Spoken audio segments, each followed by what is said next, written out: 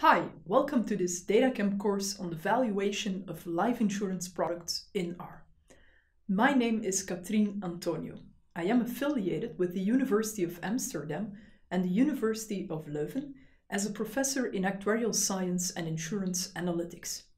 I teach courses on data science for insurance, including life insurance, and I coordinate Leuven's master's program in actuarial and financial engineering and my name is Roel Verbelen.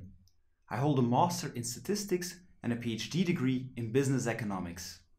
I studied at the University of Leuven. Leuven is a splendid college town in Belgium, home of a superb collection of beers and chocolate, and also home of the founders of the DataCamp platform. In this course, you will take the role of an actuary who is dealing with the calculations behind life insurance products. More specifically, you will help a superhero who wants financial protection for himself and his family. That's why he will pay premiums to buy life insurance products from an insurance company.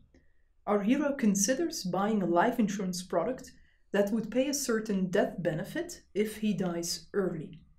This death benefit can be paid to his kids, his business partners, even his bank, in case he has a mortgage that is not settled yet. In addition to the risk of dying early, our hero also needs products that offer protection against the financial risk of a long life.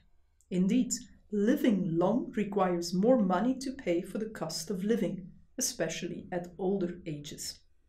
You will study life annuities that pay an income while the annuitant is alive, like a pension does. You see that in all these examples, the future lifetime of the policyholder is crucial Therefore, you will master the use of death and survival probabilities. Throughout the course, you will learn the key concepts of working with cash flows that represent financial transactions over time. Then, you'll work with a model for human mortality data. The combination of both prepares you to study life insurance contracts, such as life annuities and life insurance policies. You will do this by using R, and specifically focusing on the use of vectors and data frames, constructing insightful graphics, and writing relevant functions for actuarial calculations. We hope to see you in the course.